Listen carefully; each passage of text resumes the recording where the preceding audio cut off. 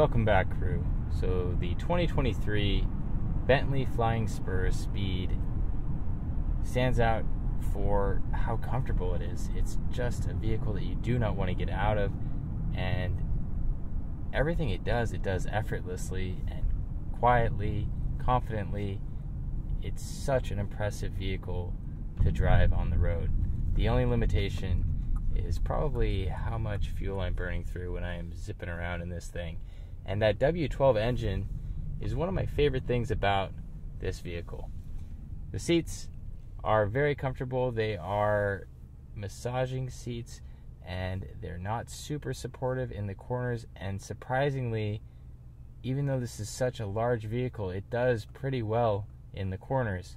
So we could use a little bit more lateral support there, but obviously this vehicle is geared more towards comfort and it's very well insulated from the outside world. So that means that it's very quiet. Even in sport mode, when the exhaust opens up and we can hear that W12 engine, it's still relatively muted.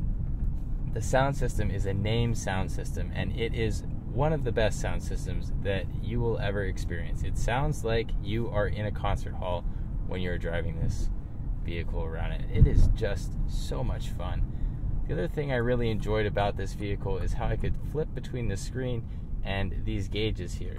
We have an outside air temperature gauge, we have a compass, and we have the chronograph. And if I press this button, we'll go right back into our infotainment screen. And right next to that, you see how cool this ambient lighting is. It's really fun to play with the different settings on this ambient lighting, and it really just looks fantastic at night that is all I have for you on the Bentley Flying Spur Speed. Thank you for watching, and I look forward to seeing you again next time.